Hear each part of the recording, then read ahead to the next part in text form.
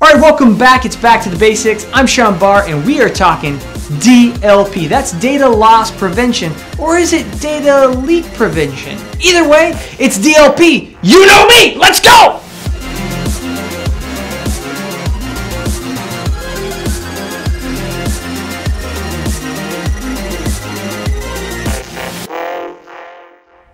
All right, we are back and we are talking data loss prevention. All right, so what is data loss prevention?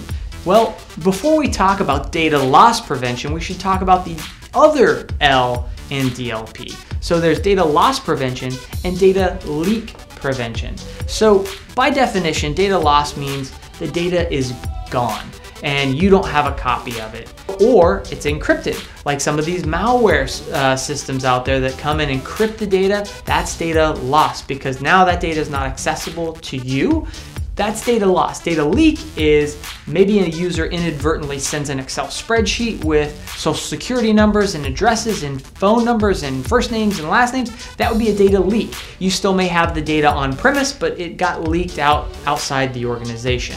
So that's data loss versus data leak. So there's a number of ways that DLP solutions work. One way is user activity monitoring. That's where a user maybe inadvertently sends some data, or maybe they're doing it intentionally. Either way, you'd want to know about that if, uh, if a user's sending uh, proprietary corporate information or information maybe about employees or, or maybe even clients. You'd want to be able to capture that. There's a couple of forms of, of data. So there's data at rest, data in use, and data in transit. Um, so there's a number of solutions that monitor a couple of those, one of those, or all of them.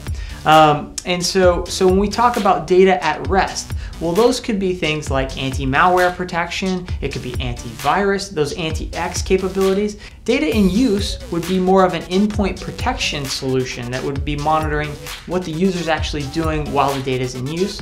And then data in transit would be more like an IDS, IPS type solution that would be looking at it on the wire as it moves through the network. So those are the three types of data states.